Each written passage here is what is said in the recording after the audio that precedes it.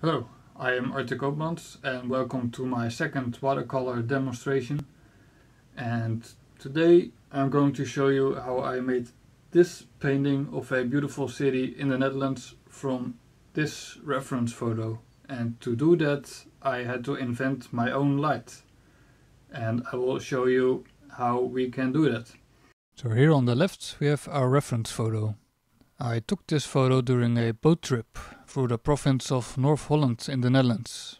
And this is Haarlem, the provincial capital. What you see here is Haarlem's historical market square. And on the photo you can see lots of people on the terraces enjoying a late summer evening. And the building with the tall tower is the old city hall.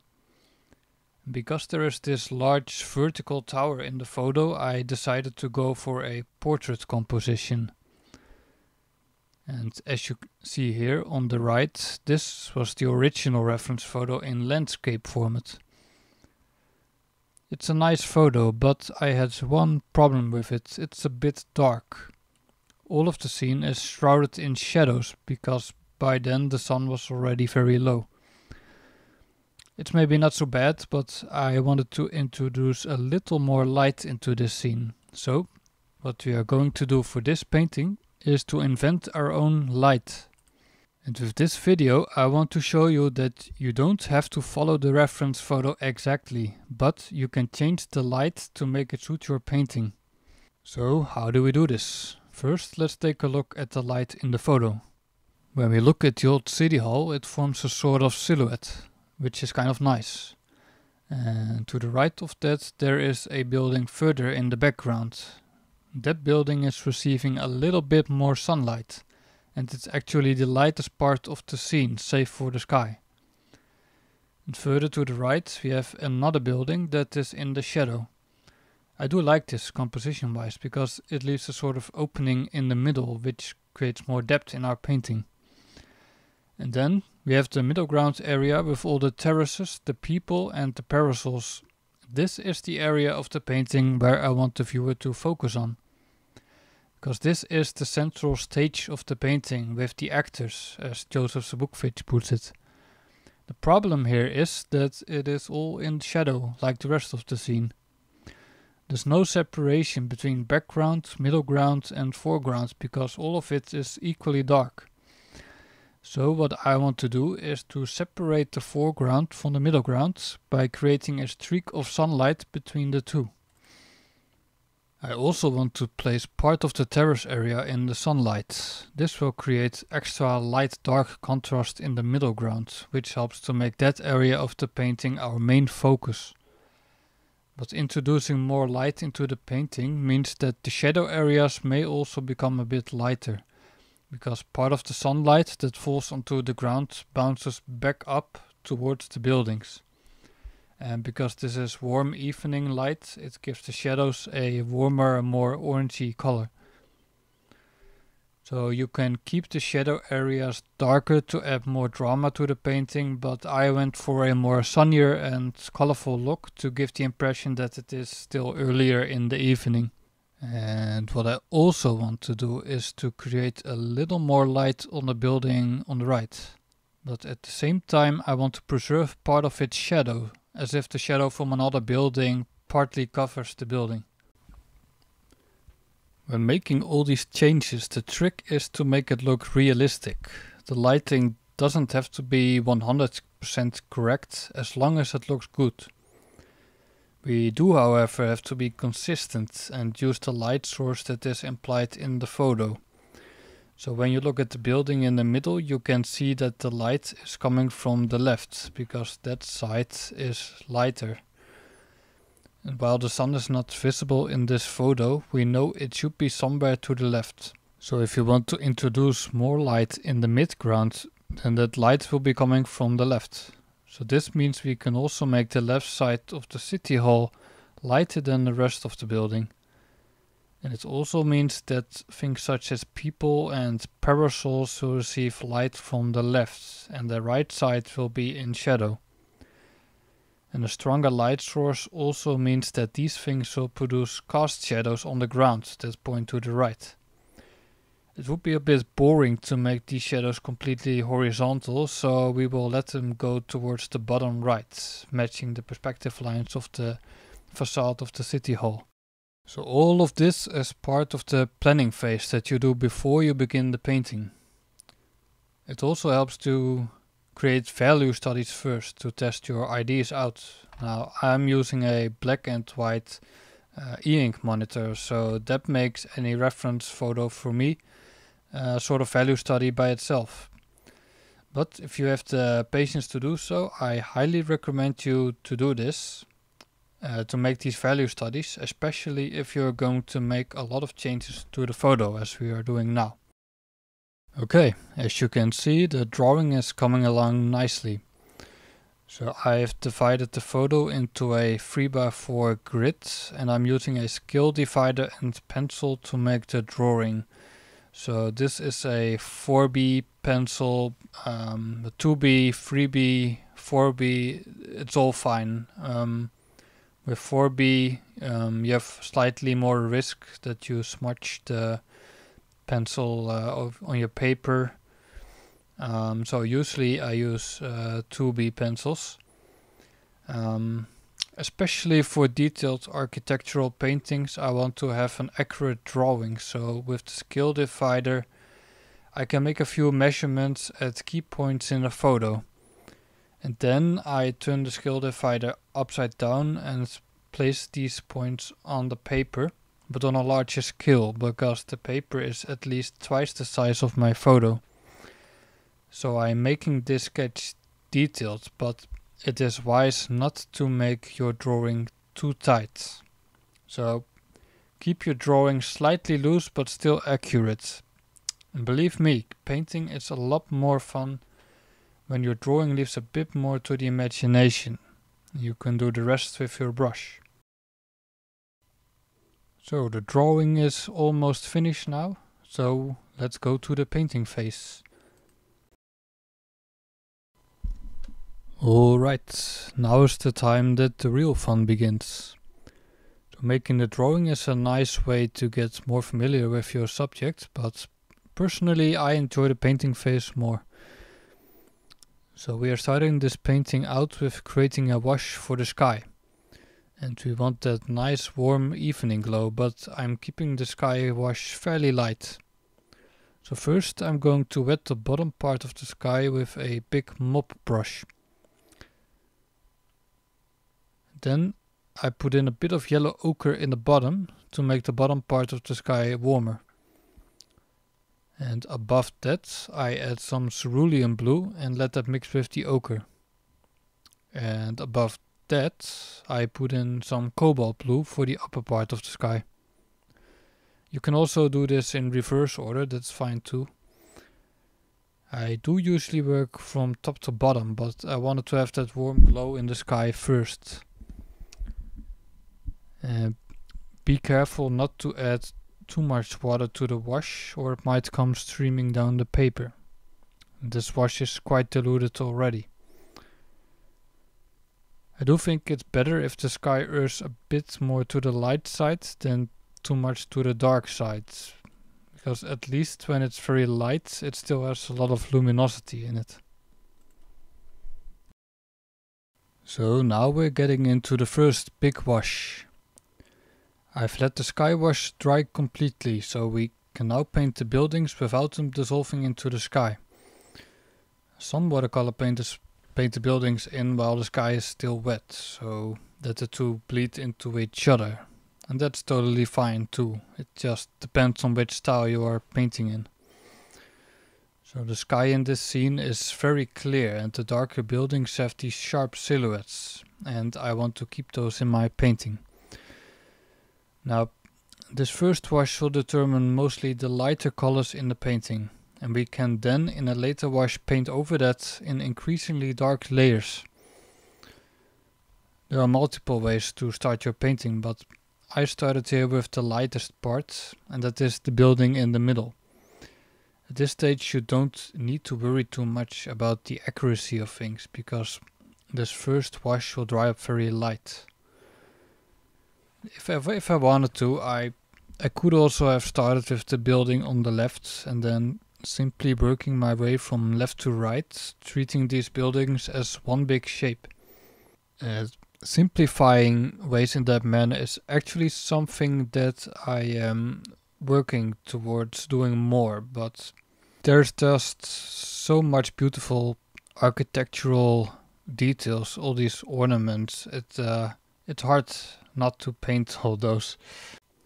It is like you are reverse engineering all these old buildings, and yeah, let's just go for it. So this first wash will not only be lighter, but it will also be a bit warmer. And before you start your painting, it is useful to determine which colors you are going to use. For this painting, I'm mostly using yellow ochre and cadmium orange for the warm highlights and those warm evening colors. I also use a touch of cadmium yellow and Indian yellow for the trees. And for the darker colors, I use a lot of burnt sienna and also cobalt blue and ultramarine blue to create these shadow colors. You can then play with the ratio of uh, warm to cool pigments to get the result that you want. And so you can get these nice gradients from from cool to warm. Because it, you do, you don't want these these flat even washes that you want to create some interest and gradients are a great way to do that and there's a lot of those in nature so for the most part I use this nice big mop brush to lay in the colors. Uh, using use a big brush to cover these large areas but be careful with the architectural details. As you can see here I am painting the facade of the old city hall in a bit darker colors already. But I'm still keeping the colors warm because of all that warm bounce light coming mainly from the ground, but also coming from other buildings. And here I switch to a lightly smaller round brush. Um, it's a Raphael. And with the smaller brush I can paint around the parasols and the people in the midground. If you can do it, then by all means you can keep using your larger brush when doing this, but be careful. You don't want to use the you don't want to lose those highlights.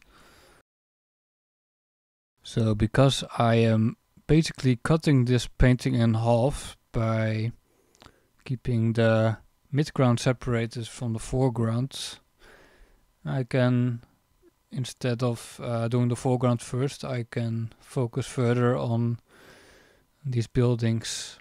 So here I am painting the steeple still with this smaller Raphael brush.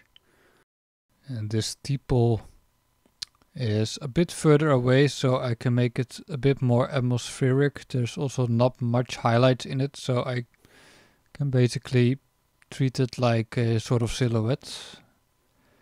And I put in some yellow ochre some burnt sienna some blues maybe some burnt umber but you you've got to be careful not to put too much into one mix because it can get money, but by using some extra pigments you can make a single wash more lively as long as you don't pre-mix everything but allow to mix these different colors to to mix on the paper most of the buildings are now covered let us now zoom out a bit and continue working on the bigger picture. I want the streak of light on the ground in the middle of the marketplace, so I'm grabbing some cadmium orange and I dilute it with enough water to keep it nice and light. And again I'm painting around the people on the terraces and I also leave out the parasols.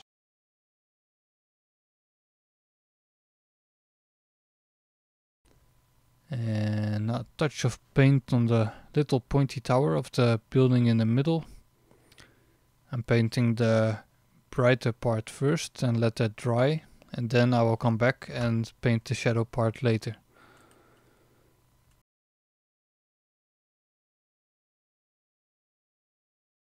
We haven't covered uh, all of the painting in one wash yet, so let's finish that by filling in the foreground area. Now I'm working on this building on the left. I'm still keeping things fairly light.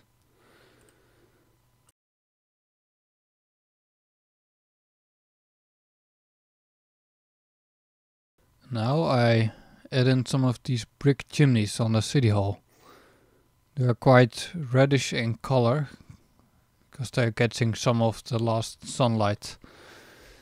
So I'm using some burnt sienna in the mixture to get that red brick color. So I am kind of jumping from one part of the painting to the next. Maybe that's because of uh, an attention disorder, but it's also true that there's a lot of things happening in this painting and it can be hard to cover that all in one wash while still keeping that level of accuracy and detail. Um, plus, I'm inventing my own light here, so I'm a bit extra careful with how I should paint these different areas. And still with my Raphael brush, I paint in some of the trees now. So I mainly use cadmium yellow for the highlights, but I add some Indian yellow as well to add some extra warmth. And these trees will give a nice break from all these warm orange brown colors that you see everywhere. Uh, there are multiple ways you can approach painting these trees, but what I'm doing here is making a green mixture and then grab some yellow for the highlights and then I put that into the green wash and let that mix a bit on the paper.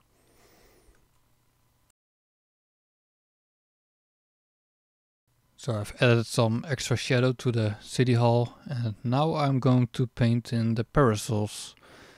So here in Holland and probably elsewhere as well, I noticed that a lot of these restaurant parasols are black or dark gray in color. That's of course perfectly fine, but when I make these parasols black or dark gray in my painting, it looks kind of somber, I think. Especially when there's so much sunlight in this painting. So we're going to solve that by simply changing their color to something more light and colorful. So you really don't need to copy your reference photo. So I'm going to make the parasol on the left a sort of light blue and the one next to that will be yellow or orange and the one next to that will be bright red and these three primary colors also come back in the rest of the painting although in more muted forms. And the rest of these parasols will simply be white. So these parasols will add some nice touches of color to the painting and by keeping them light you can add some colorful shadows on them as well. But I'm going to let this dry first before I paint these shadows over them. Now I'm filling in the shadow areas of the roofs with ultramarine and a touch of umber.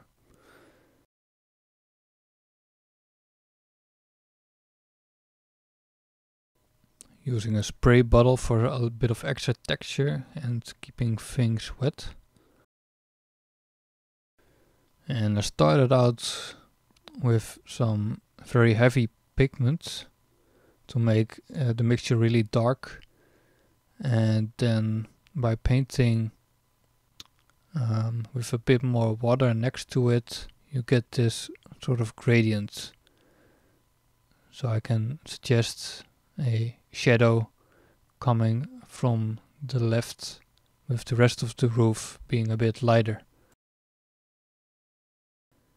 and also the roof of the middle building. And I'm leaving out highlights for the windows on the roof by painting around them.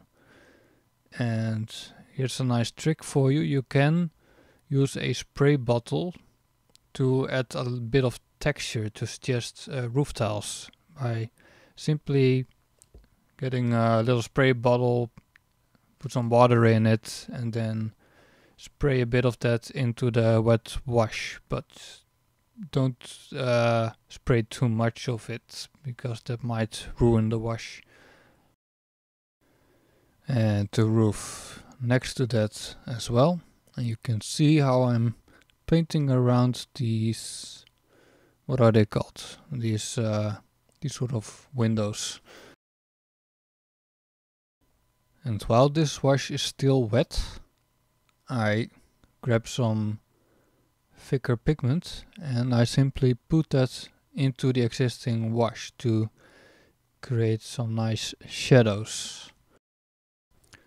And you can do this same principle in reverse order. So here for the wall of the building I'm starting out with a fairly dark wash painting around these windows again and then as I progress I add in a lighter mixture with more water and that forms this gradient from dark to light. So I'm giving the illusion that some of the lost sunlight is falling on the left side of the building while leaving the other half uh, in darkness. And as long as this wash is still wet, you can do the reverse again. And here I am painting from light again to a more shadowy area. And here I'm painting negative shapes around these parasols and also around the tree. So you can see the tree standing out from the building The building in the middle also needs some more definition, but this one is slightly more tricky. You can see in the photo that it has lots of small highlights in it. whereas the other building is mostly brick, this one has a lot of natural stone in it as well. Old Dutch architecture like this has a lot of ornaments and patterns that break up the brickwork. And to paint all these lighter ornaments is very tricky to do in watercolor because it breaks up these larger shapes in lots of little shapes. And you have to paint around all these highlights.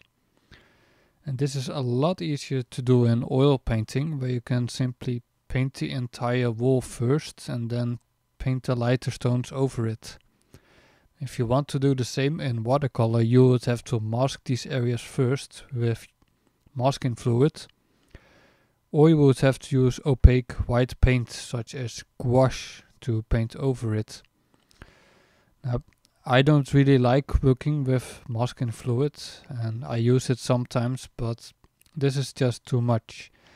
Now, gouache is an option, but you won't get the same vibrancy that you get with watercolor because gouache is more opaque and chalky. So in this painting I went for a detailed approach, so I'm simply painting all these details largely as separate shapes. Now if I were to go for a more atmospheric approach in the future, I would paint all these large shapes as one wash and then use gouache to suggest some of these highlights and see how that works out. So yeah, I think Dutch architecture especially is extra challenging to paint with watercolor. Now painting this middle part with the tower. And the right side of the building is receiving a little more shadow. So I'm painting that with a darker mixture. And you see I'm painting these sort of stripes because all the brickwork is broken up by these white natural stones.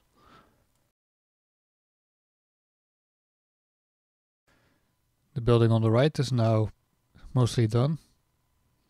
I'm giving the city hall the same treatment and painting darker brickwork in between these lighter ornaments. You can see the level of detail that I'm working in.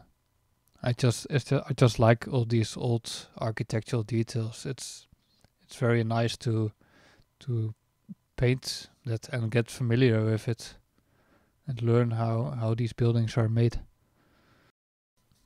There is some light coming in from the blinders. I hope that doesn't distract too much. I'm fast forwarding here a little bit because I'm painting very slowly, very carefully.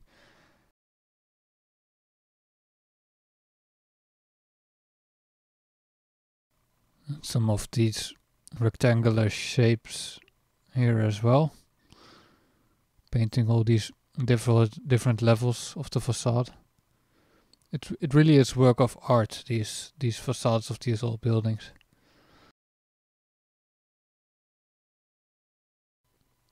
So I will spare you all of these tiny details by fast forwarding them quite a bit. So here you can see I'm painting all these small window panes. And again for the larger building, painting these window panes separately. And now some details on the steeple of the tower, making it quite a bit darker. Now the tower is a bit light overall, so what I'm going to do is paint a second wash over it to make all of it just a bit darker. But be careful with doing so, you can easily create these dull muddy colors.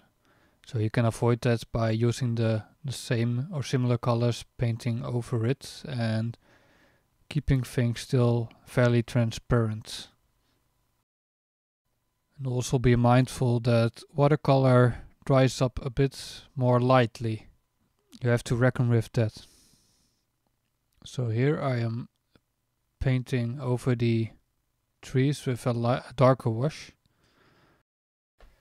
And you should try not to fiddle too much with this. And we want to keep some of those highlights, especially around the edges. So the background of the painting with all these buildings and the trees, it's now largely done.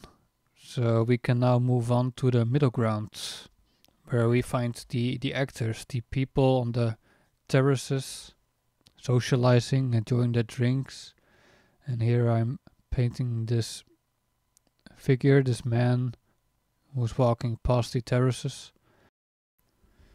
And then we move on to the left and here I have drawn a couple of figures. They are sort of half standing, half sitting on these bar stools. You don't have to follow the reference exactly. You can give, you can change the colors of their clothes uh, however you like. You can change the their appearances. You and I mostly paint people in such a way that you couldn't recognize uh, a specific person. I'm making this parasol in the middle a bit darker. Give it a bit more shadow and the light, as I've seen, is coming from the left. So that side will still remain light to all these nice colorful shadows and underneath the parasols we need to add some more shadow. And all the people uh, sitting under them they are basically sitting in the shade of these parasols mostly so we can simply cover them with one big wash.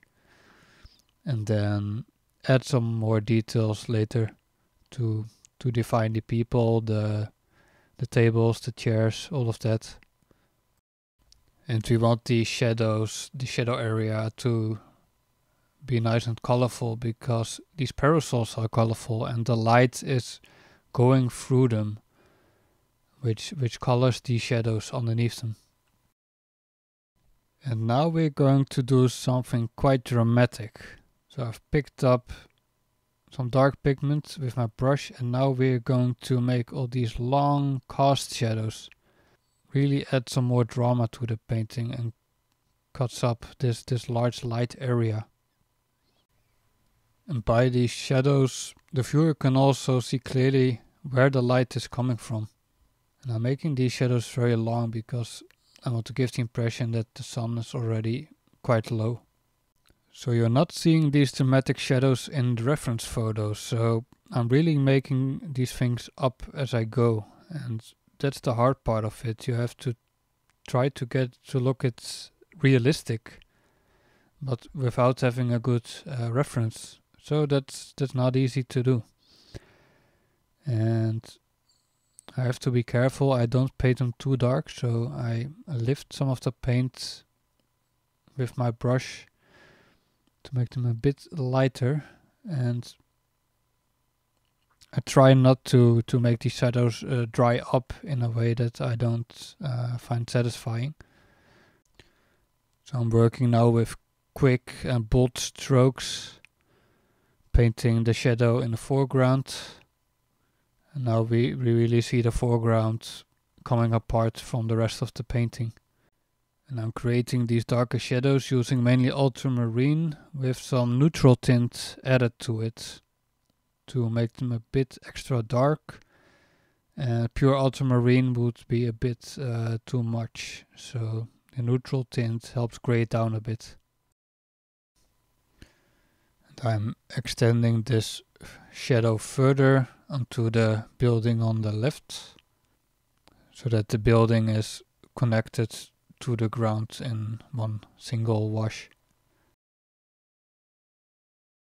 And I wasn't quite happy yet with these cast shadows. It it didn't quite feel right yet, so I decided to elongate them further toward the side of the painting. So unfortunately the uh, paint had already dried up, but I think I still got away with it. And often you also have shadows within shadows, so now we have a darker part and a somewhat lighter part, and I think that actually works okay. Making the building on the left a bit darker as well. And now we really see the painting coming together. We're really starting to see the bigger picture now. And we see that vision realized that we planned ahead before we started this painting. So it's starting to look pretty nice now. So the terrace area is still a bit empty, so now we can add some more of those details. Or the jewelry as Zbukvic calls it. So I'm keeping these figures fairly simple and painting them mostly as silhouettes here. No need to spend hours and hours painting them in complete detail. It's it's nice to leave some open for suggestion. And here I'm using a, a different brush. It's an Escoda Perla. It's uh, a bit stiffer synthetic brush which is nice for painting some of that detail work and you can grab a lot of paint with it. So it's more suited for, for tiny details than for larger washes. And now with some darker paint I'm painting these tall bar stools beneath the figures. Parasol's a bit flat still so I'm adding quite some more shadow to it. That's better.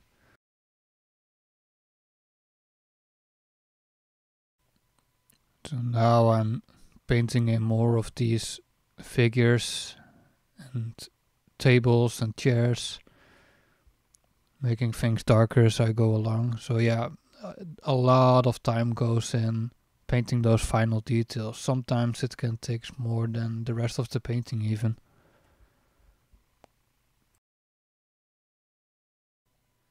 There's still this open area in the midground. So I'm going to break that up.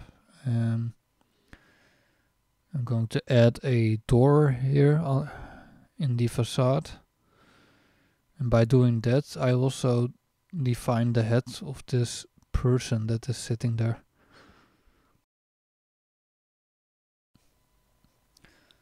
Painting some extra bricks on the left side of the facade.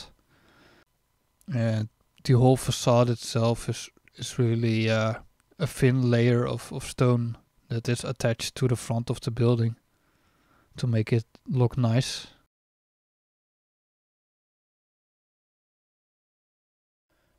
It's a bit dark, it, it stands out a bit too much, so I'm making the, li the lower part a bit lighter by lifting off some paint.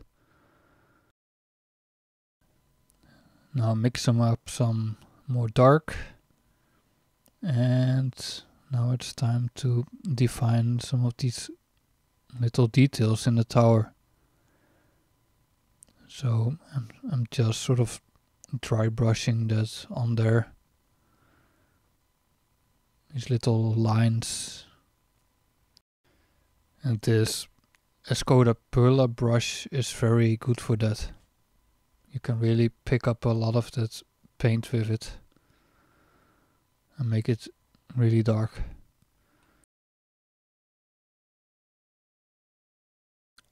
Yeah, there's a thousand little details in this subject and I'm not going to show all of that, that would really be too much. But here I'm breaking up this middle ground area further by adding some doors and windows to the building in the middle. Trying to keep things a bit atmospheric. And the building on the left that frames the picture can also use a bit of detail, but I'm keeping things a little bit rough because this area of the painting is not really in focus so much. I want to keep the focus on the square itself where all the action happens. Now to add some of those vertical lines I use a, a bit weird brush. It's a combination of a sword brush and a rigger brush but it kind of works. A little bit more detail in the middle area and we're really almost done.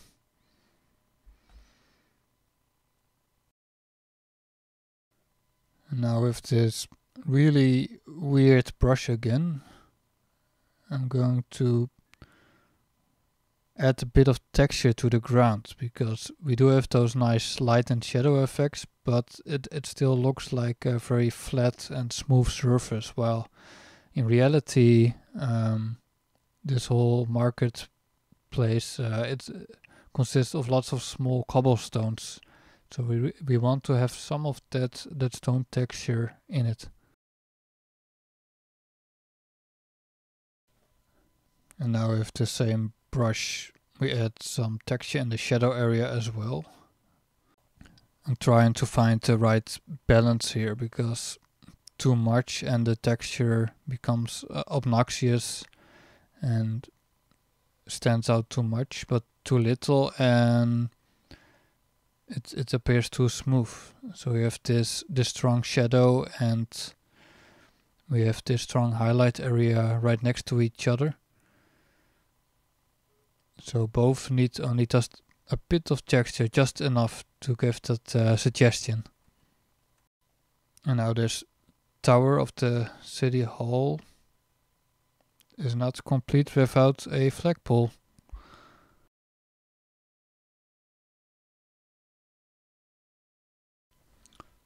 So I can't really see much else to add at this point. So now I place the signature, trying to keep it somewhat consistent across my paintings.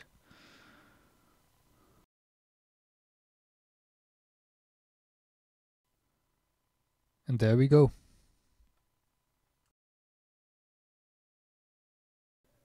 And there is the final painting. I introduce some extra light, creating the ambience of a city square in the warm light of evening. You've got the color parasols, the people on the terraces. And now let's compare the finished painting with the reference photo again that we started out with. You can definitely see the difference in the amount of light between the two. So the photo is a lot darker and I think a bit more boring as well because there's little contrast in light and dark. The only real contrast is between the sky and the rest of the scene. But I did see potential in this photo, but there was just too little sunlight left. Now, the painting definitely breathes more light and it has this warm evening glow which is expressed in warmer colors such as cadmium orange, yellow ochre and burnt sienna. So I think the way I invented the lighting in this painting looks convincing. It's probably not entirely realistic, but what matters is that it looks good. Uh, some of the shadows are perhaps a bit longer than they are in real life, but I made them longer because I found that it worked better with the composition. So if you want to invent your own light, but you are not quite sure how to do that for a specific photo, then here are some extra suggestions. You can make a few pencil studies first and try out different combinations of light and shadow. And also you can look at other photos and choose one that has the light that you want in your painting. So whatever lighting scheme you are looking for in your painting, take into consideration the composition as well. So maybe it is better to sacrifice a little bit of realism if that benefits the composition. As long as the result looks convincing and it looks realistic. So I hope you liked this watercolor demonstration and I hope I have challenged you a bit to deviate a little bit more from your reference photos. So maybe you still have a photo lying around somewhere that you would like to paint but it isn't quite ideal. So maybe that photo deserves a second chance. And even the best reference photos are rarely perfect. There's almost always something that can be improved, whether it is the, the lighting or whether there's just an annoying car in the scene that you want to get rid of. So the goal is always to improve on the photo, not to copy it literally. The photo is just a guide or a tool for the final painting. So if you want to see my paintings, you can also go to my Instagram and follow me there. And you can also find the link to my Saatchi art gallery in the description and you can even buy paintings there. And if you like to see more of these watercolor demonstrations, then be sure to like this video and subscribe. My plan is to not only post these long form uh, watercolor demonstrations but also now and then post some shorter videos uh, with some useful tips and tricks that help me create uh, better paintings and that may also help you create better paintings. So that's it for today. I hope you enjoyed it and we see each other next time. Bye bye.